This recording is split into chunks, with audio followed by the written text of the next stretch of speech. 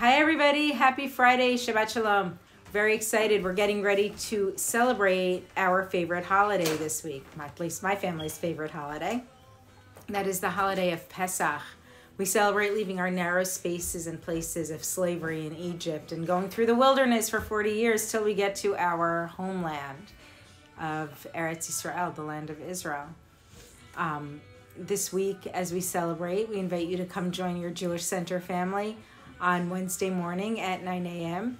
as Rabbi Merow has a siyum. She finishes a unit of study and then sells our chametz symbolically to Mayor Mark Freda. There may be marshmallows involved. There will be songs involved. There is definitely going to be a bonfire so we can burn our chametz, and also there may be marshmallows involved. Um, it's going to be a really great morning. And did I mention the marshmallows? Anyway, our family won't be there. We're going on our own special journey. Can't wait to share that with you when we get back.